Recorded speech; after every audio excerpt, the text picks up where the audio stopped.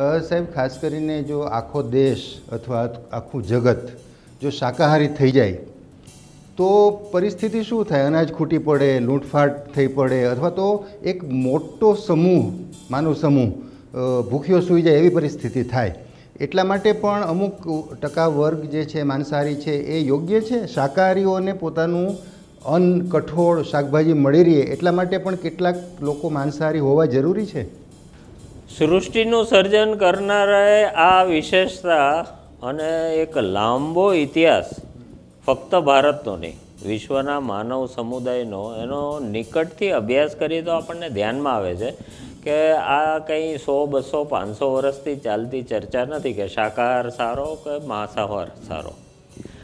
દરેક પ્રકારના યુગની અંદર માંસાહારીઓ હતા. એટલે ઘણીવાર આવી ચર્ચાઓ જ્યારે ચાલે છે કે નહીતર શું થશે?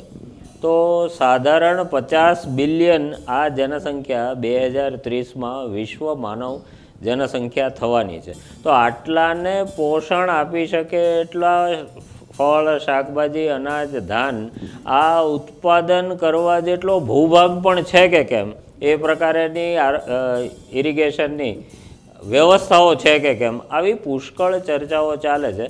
કુપોષણ આ વિશ્વ માનવ સમુદાય સામે પડકાર છે.